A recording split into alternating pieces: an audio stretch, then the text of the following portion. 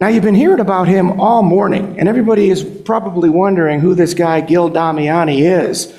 Well, Gil is a, a fellow Chicagoan, uh, a, a fellow firefighter, fire chief. He was the assistant chief in uh, Mesa Fire and Medical, although I don't think they called it Mesa Fire Medical when you were there. It was just Mesa Fire.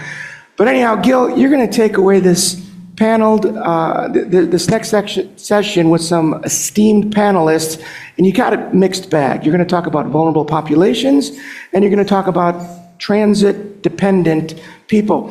One programming note, Gil was identified in the program as working for AzCHER. Um, Gil kind of works for everybody. He works for the state, he works for the Arizona Healthcare Association. He's an emergency management gun for hire, but um, you're not with AzCHER yet, so I'm wondering if you were doing uh, a little promotion there. All right, take it away, Gil. Thanks, Dan. And uh, thank you all for staying for lunch or after lunch. Uh, Stan brought up earlier today that we're gonna, this is gonna be organic. And we want it to be, uh, you know, from the ground up so that you have real-life uh, people that work with, with uh, people with access and functional needs, uh, straight on, right on, on the base. And one, one thing I, I kept hearing today is practicing. And I want to share a quick story with you uh, from personal experience. Uh, As Stan mentioned, I grew up in the fire department, and back in the day, we used to have uh, sessions where we'd go teach kids in class, in kindergarten. What, you guys still do that? The first line people do that? All right. So I, I was going to do my daughter's second grade class, and uh, I thought, you know, if I'm going to teach other second graders, I better practice it at home first. So my, my in-laws were visiting from Michigan, and we did a, a fire drill. I had the, the sample smoke detector so they could hear the buzz and how it sounded.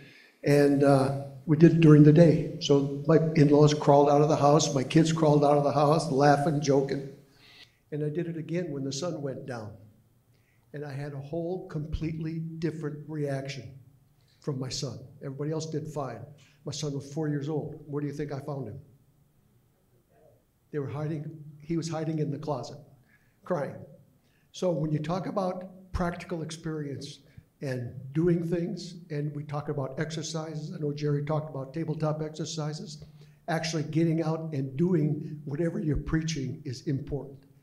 And uh, we've got some people here, uh, John Scott Williams and uh, Bruce Harvey with Gila River Community, that are going to give you some practical experiences as, as it relates to uh, their access and functional need communities. John Scott? I, I am John Scott Williams. I'm the Executive Director of Fellowship Square Mesa at Main Street and Power Road. I've been there for 27 years. We are a very high technology uh, community. Our residents uh, use the Alexas to communicate with each other. We have Helpany uh, uses radar, and that radar allows our caregivers to know in advance of someone who is a fall risk when they get out of bed. In the two months that we put that into uh, effect, first month we lowered falls by forty percent. The second month we lowered it by hundred percent on the shift we were using it on.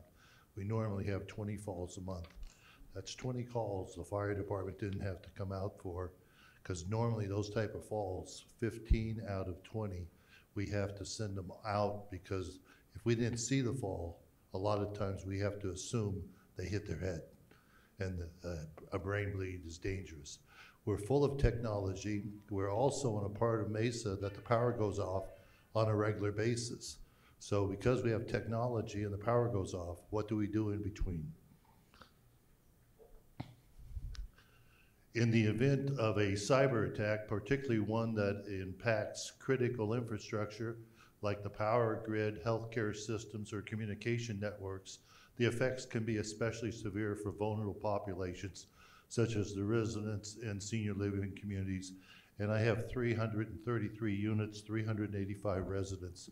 I'm a small town with 100 employees on the payroll. Whenever the power goes out, we have a loss of critical services, communication failure, data compromise, and supply chain disruption. If it's just for a few hours, it's all right. But the fire department may remember a few years ago, a uh, electrical uh, transformer at University and power went out, and our power was out for three or four days. We, we do have a backup system, is, uh, we put in two transformers twenty-seven years ago on the property that we can switch from our Main Street feed to a uh, southern feed, and that allows all of my buildings to be powered up. But without that, what are you gonna do with three hundred and eighty-five residents and the temperature that we're in? What are you gonna do for the electronics that we have? We've gotta go back to paper in a big way, and, uh, your printers, uh, we, we are in a situation that we have, all of our assisted living buildings have backup generators, but that backup generator is hundred percent. Solar during the day on one of our buildings works well, but when the sun goes down, then we're on the backup generator and everything is limited. Medical device management, medication management, food and water supply, power backup systems, staff, and training preparedness. If we have something that occurs and it's more than one day, you know, whenever we went into the pandemic, we lost thirty percent of our staff. And it wasn't that our staff were afraid of the virus, they had to take care of their family. And at that time, nobody knew anything. Whenever you have a power disruption and we don't know how long that's gonna occur, they have to take care of their own families. So in that situation, we are, all of our buildings are secure buildings. So Nobody can get into the building without having an electronic passkey. That electronic passkey doesn't work when the power goes out. So all of our doors have to be propped open. Well, you need to have more than one person that knows how to open those doors. Uh, it's easy to do. If you ever look at sliding doors to say push to open, most people never even know that. So you have to train for that. Uh, um, physically moving residents in case of power grid failure, an evacuation plan. You have to concentrate on mobile residents first. Whenever I discuss this to the residents, I say, in here, if we had a problem, who would go out first? And most of the time, they say, well, the people in wheelchairs. Everyone, and I then have to say, no, the first people that go out are the most mobile. The least mobile go out last, because I'm not interested in saving one Z, two Z. I'm interested at that point in saving the herd, which means as many people as I can will get out the building first. Then we'll have people come in, and I only have to get you from A to B. Our buildings have little uh, elevator stairwells that people can wait there until the fire department shows up if we have to get them down. We also have equipment that lets people go down the stairs, and you don't have to be a genius to use it. They go down the stairs slowly, and we can get them downstairs if we, we have a big emergency need. Sheltering in place is our first default. Most likely, if something occurred like this, we're not gonna go to California. We're gonna be stuck here in Mesa, Arizona. So the first default is to stay in place. And we have emergency shelter zones. Because we have backup generators, we will move people to where the air conditioning is, and we can do that. Uh, we have temperature controls. All my, uh, I have four hundred and eleven thermostats on the property. They all work from Wi-Fi, and they're voice activated. But when the power goes out, they're not going to work. There's no air conditioning. So we have to go to where I have air conditioning working from the backup generators that are on my assisted living. I have a two hundred and thirty-six independent living apartments, and if the heat gets too much, I have to move those people into an area. Uh, pets and service animals. This happens on a regular basis. People live on the second and third floor with pets. There's a rule. Uh, there's a rule you have to take. You can't say first floor for pets. Since the pandemic, virtually, uh, I'm going to say 80% of the residents are moving in with pets. And since the pandemic, I've gotten rid of 90% of the carpet in the hallways. So consequent, okay? Well, the other thing that happens is that pet has to be walked three times a day and they get used to walking. Now, if the resident is used to using an elevator and they can't get down the steps, how are you gonna take care of all those pets? It's, it's, it's something you have to think about. Individuals with access and functional needs. That, that's all my, all my uh, wheelchair, all my uh, people who are immobile have to, we have to figure out what to do. If it's gonna be overnight and more than, uh, more than a few days, I have to have bedding for staff, because the staff, my key staff are the only people who are gonna show up. During COVID, my key staff were sleeping eight hours, working eight hours, sleeping eight hours, and we did that for months until we were able to get our crew back in. Uh, And then you have to think we have to have a morgue. People die on my property. And uh, uh, you, if there's no transportation and we can't get from A to B, where am I gonna keep those bodies? All of this you have to think about. Uh, Coordinating emergency systems, I liked uh, Forrest Smith whenever he was talking today. I'm gonna give him a call, because I want them to come out to our property on a regular basis. We do, we are in Mesa, you need to have partnerships with the local authorities, and you have to work with local authorities to develop a plan.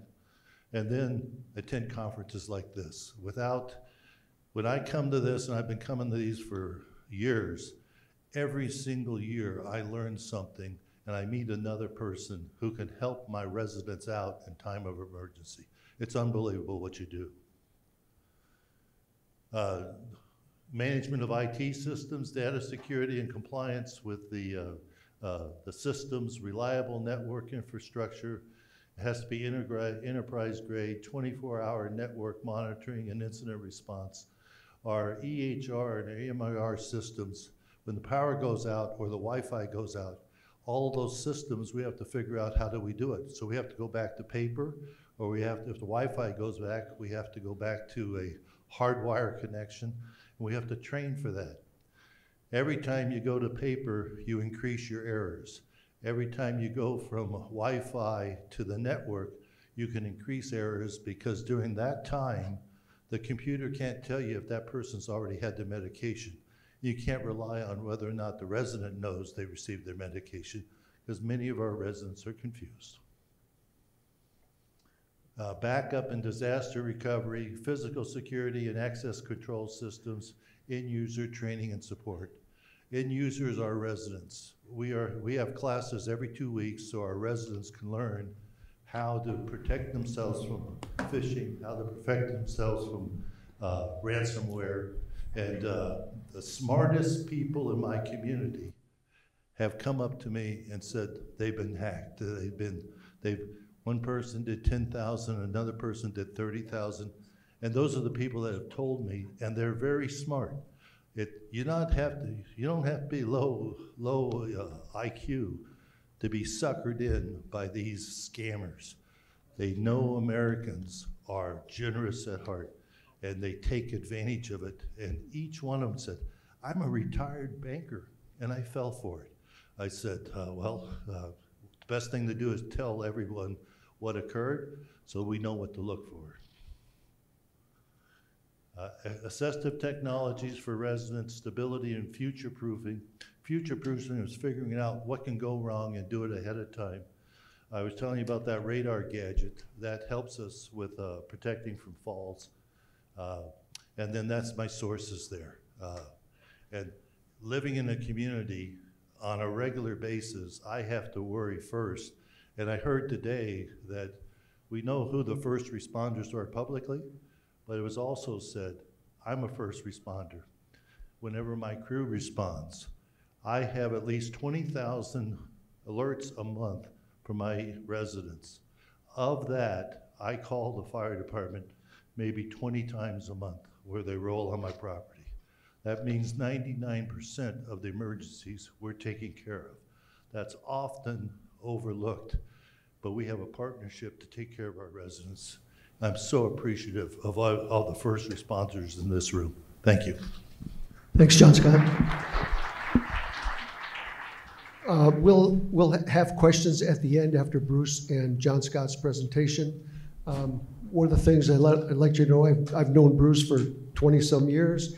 Uh, He is the uh, Director of Emergency Management, Office of OEM for Gila River Indian Community, and uh, he was gracious enough to accept our invitation to do this. So, Bruce? Thank you, Gil. Uh, those of you that know Gil, you don't ever say no to Gil. So um, he said, "Hey, would you help me out?" I said, "Sure." My my mistake was I didn't ask him what he wanted. so, um, first of all, just thank you all. Thank you all. Give yourselves a big round of applause, please. Mm, that was a little weak.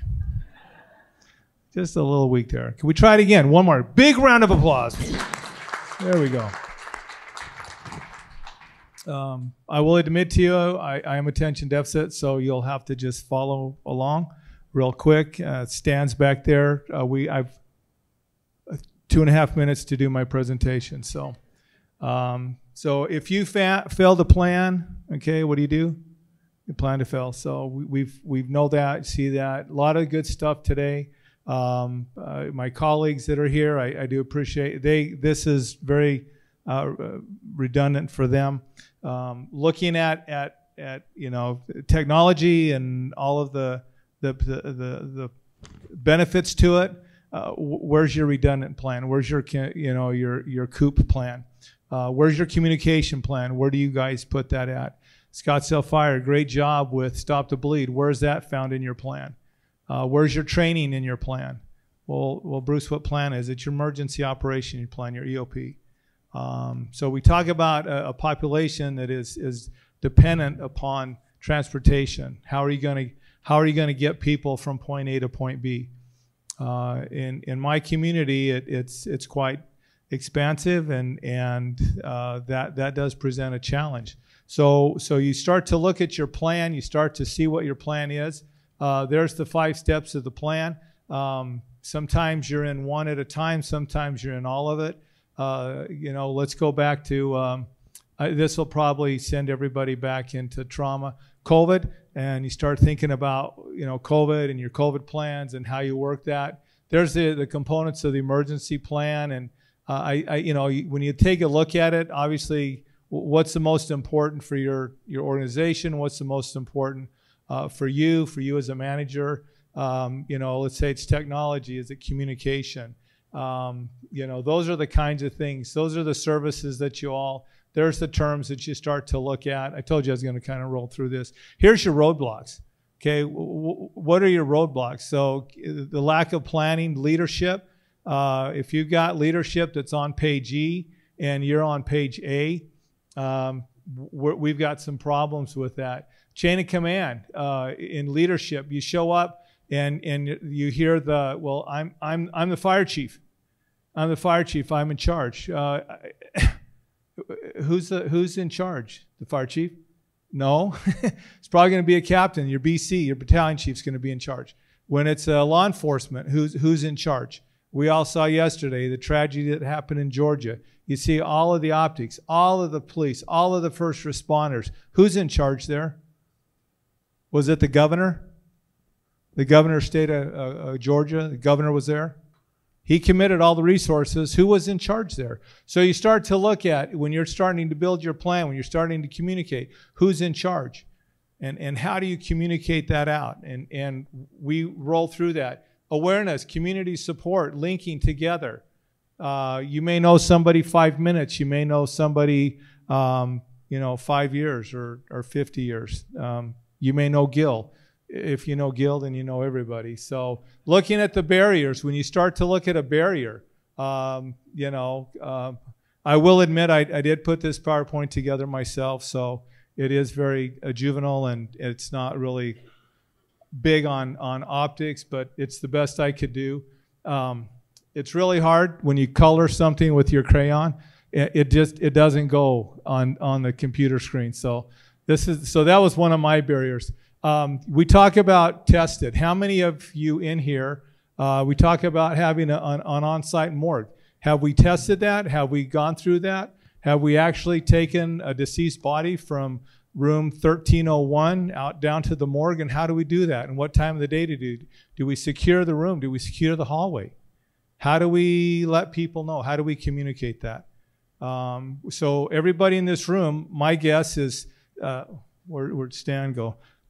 Our fireman, probably the first thing he said to you today after he welcomed you is he said, please take a look at all of the exit signs.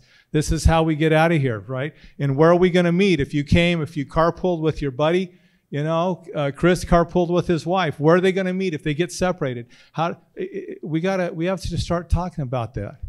What I I don't you know I'm old, 64, and my hearing is gone. So there's sometimes I don't, and it's not I don't fake it. I don't look at my wife and go, what? She she teaches kindergarten, 34 years. She just retired. Bless her heart. Okay, uh, I'm also colorblind. So you start to look at that. Is that a barrier? Well, Stan probably said, hey, if you guys, if we have to evacuate, here's where you go. I'm sure he did that for you all. So why, why would you do that? Because we're communicating. We want you to know where to go, what you're going to do. Okay? Do you, do you gather everything up with you and run out? Okay? If you're a fireman, you just, you grab, you know, the 32 ouncer. No, you, you grab the, so you think about what, what do I need? How do I prepare? One thing I look at when we talk about plans is how do we test? How do we test it? Okay, well, well let's talk about it. Okay, we're, we're gonna we're gonna fellowships. We're gonna evacuate the entire campus. That's not gonna happen. But let's bring some staff in. Let's do a tabletop. Let's talk about it. Let's do an after action. Let's share that. Let's build on that. Is there something we need to know? Everybody has a boss, so let's communicate up the chain. Let's let our, our, our CEOs, let's let our board know. Let's let our community know. How do we, in our community, we use Facebook. We've got a, a text message. Um, what else do we do? Billboards. Send you to the casino and there's a lot of ways to communicate. There's a lot of ways to share that information out. Okay, making sure that, that you, if you have a functional need or if there's somebody you know, i- i- we do have a plan. Uh, if uh, we have my our partners here, our entity Gricua, it's our power company. It's it's a smaller version of APS, um, way smaller. But Chris is here, and, and and we have a plan. So if the power goes out, we have a system. We have a way to communicate. We have a way to push information out. How do we share that information? And, and do we test it? Yeah, every once in a while the power goes out, we test it. But we meet twice a year. We talk about it. How do we make improvements? What, what needs to go? We bring in different players and we share that. Okay, those are the kinds of things that help. So when you're talking about a population that is dependent upon your, you to transport them, okay, do you communicate? Do you let them know? How do you communicate? How often do you communicate? Okay, do you let them see that and do you let them know that? Just real quick, am I in? Who remembers uh, Katrina? Okay, I'm not talking about your high school girlfriend, John. The other Katrina. Wow, it's true. Woo! Okay, so who remembers this picture from Katrina? Okay, we all do. Okay, what, what are some of your thoughts when you see that picture? Like, oh, geez, somebody felt, somebody messed up. That's not true. Okay, they had a plan. They had in their in their emergency operation plan, their evacuation. They had a, an MOU with the school districts to utilize their buses, to utilize their fuel, to utilize their drivers. They had it. They sat and talked about it. They communicated it. Everybody knew about it because they had some issues with transportation. Why did the buses stay where they were at? Because everybody was ordered to evacuate. So their plan didn't include retaining drivers to drive the buses. The drivers were evacuated out as well. So the buses stayed, the water came up, the rain came down, and the water came up. So we have that. So was it a failure? Did they did they plan to fail or did they fail to plan? They didn't include that piece in there. So my hope is that you'll go back and you'll take a look at your plan. Don't it, don't take the whole plan. How do you eat an elephant? One bite at a time. Just take it and look. Take it and look. Eat a little. Look at it. Share. Cooperate. Get with somebody in this room. Say, hey, can you help me? Um, and uh, Gil, that's all I have. Thank you. All right, thank you, Bruce. Uh, Just to put things in perspective, uh, John Scott, how large is your community as far as It's on 16 acres. Okay, 16 acres and how many people? 330? Uh, 385 residents, 385. 333 units. Bruce, your community is how large? It's uh, 17 acres. Come on. How large is their community? Uh, it goes from uh, Florence to uh, to Laveen. So you've got a few people that are, that are under your responsibility Yeah. and communicating with them is a, is a concern and, and a- can be a problem at times. Anybody have any questions for either one of these gentlemen? I have one. When, uh, when we talk about communication and communication being effective, how do you know that your message is being reached? I talked to John Scott this morning before, uh, uh, before the, the conference began, and he mentioned to me the process that you used to use with window In- in- shades. In the old days, everybody would open their living room windows by uh, 10 o'clock. That way, we knew they got through the evening. Uh, Today, we don't have living room windows, uh, we have patios. And uh, on the patios, if you're in there, uh, there's screens on the patios, but during an emergency, they would put a blanket or something to indicate that they're there. So that's a great, great uh, option as communication goes. So, thank you, gentlemen, very much. Appreciate your input and your knowledge. Thank you. All right, hold on, you guys. Hold on. Give him a big hand.